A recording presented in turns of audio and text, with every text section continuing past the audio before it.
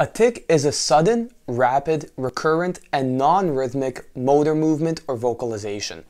In this video, we'll take a look at three tic disorders, Tourette's disorder, persistent motor or vocal tic disorder, and provisional tic disorder. Tourette's syndrome is diagnosed when multiple motor and one or more vocal tics have been present at at least some point during the illness, though they don't necessarily have to happen concurrently. The tics may alter in frequency, but must persist for more than one year since the first tic onset for a diagnosis. The first tic onset must also occur before the age of 18 and typically occurs between the ages of 4 and 6. Finally, these disturbances cannot be attributable to the physiological effects of a substance, like cocaine, or another medical condition, such as Huntington's disease.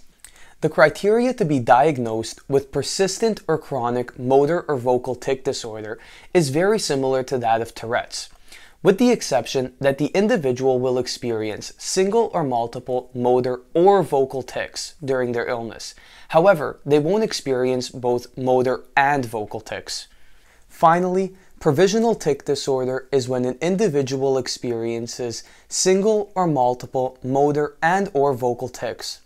In this case, the tics must have been present for less than one year since the first tic onset, and the first tic onset must be before the age of 18 years old. Again, these disturbances cannot be attributable to other physiological substances or another medical condition. Tic disorders are hierarchical in order, with Tourette's being the most severe.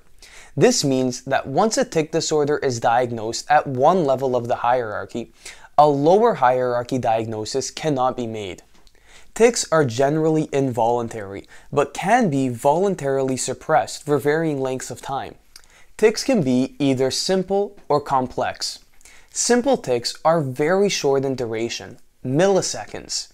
Simple motor tics might include eye blinking, shoulder shrugging, and extension of the extremities. Simple vocal tics might include clearing of the throat, sniffing, and grunting. Complex motor tics are longer in duration.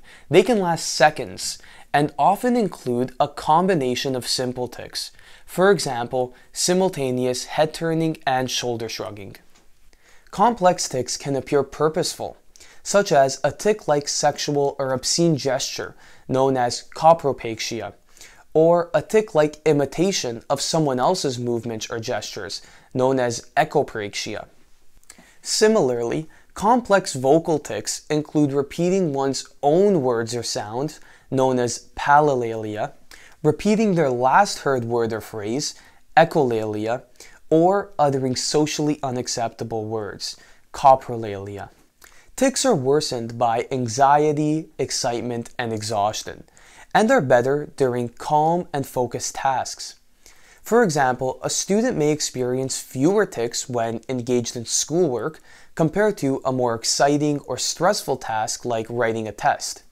Thank you so much for watching. I hope you enjoyed the video. Please like and subscribe, and I'll see you guys in the next one.